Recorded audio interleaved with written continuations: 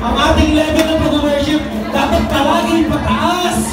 Ng pataas! Ng pataas! Hallelujah! Jesus! Amen! Ang chorus, ang chorus mo dito sabi, Amen? I feel alive, I come alive,